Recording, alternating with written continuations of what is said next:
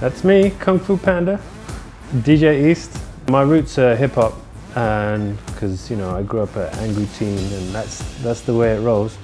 And then I got into um, drum and bass, the whole jungle ragga scene, and yeah, it's kind of just uh, molded my my taste and stuff. So uh, that's how I got involved in Bassworks and and lots of the hip hop shows that I've been trying to do, uh, trying to set up now actually, so watch this space.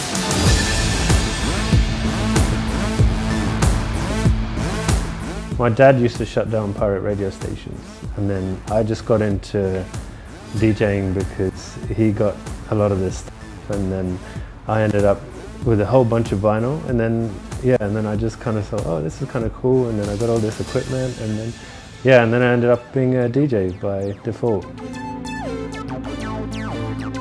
I don't do straight mixing. I like to do uh, mixing genres and when you see some of my, listen to some of my mixes, it's kind of like fusion of drum and bass and hip hop or hip hop and uh, R&B and or like uh, Indo sounds with uh, uh, breakbeat and you know just trying to reinvent kind of new sounds and different uh, tracks and stuff.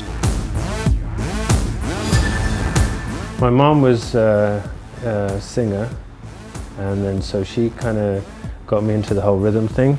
See those?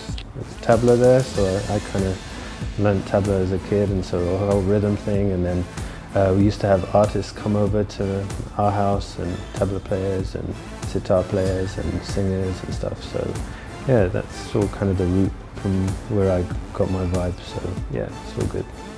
One of my favorites would definitely be Superfly. Uh, apart from the fact that it's like a really old vinyl, um, but I picked this up in LA, so it's kind of straight from the source.